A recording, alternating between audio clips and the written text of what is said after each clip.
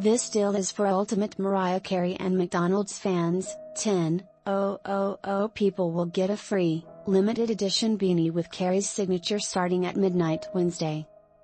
The giveaway is a part of McDonald's Mariah menu, which features 12 days of free food deals with a $1 wrap purchase. The special menu launched Monday and continues through Christmas Eve. Wednesday's Mariah deal of the day is a free bakery item, which McDonald's said on its website will be available from midnight to 11:59 p.m. local time, even after the free beanies are gone. To celebrate our collaboration with Mariah Carey, two of our 12 daily deals will include access to free Free shirts with a throwback photo of Carey eating a McDonald's cheeseburger will be given away on December 21st when the Mariah menu item of the day is a free sausage McMuffin with egg. That deal will be available during breakfast hours, which vary by location.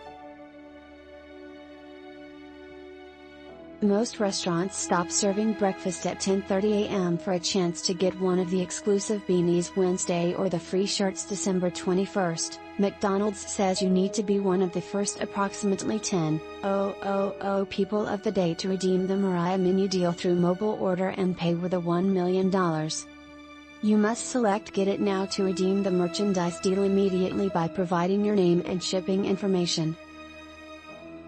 Once you exit from the merch redemption flow, you will not be able to access it again. Once the merchandise is unavailable, McDonald's said there will be a merch out of stock flag on the deal of the day. McDonald's said the merchandise will be shipped in February. For the shirt, only one size, adult large, will be available. The freebies will be available at participating locations and each is valid one time per day with a $1 minimum purchase on McDonald's mobile app, excluding tax. More details are available on the app. Follow USA Today reporter Kelly Tyko on Twitter, at Kelly Tyko. For shopping news, tips and deals, join us on our Shopping Ninjas Facebook group.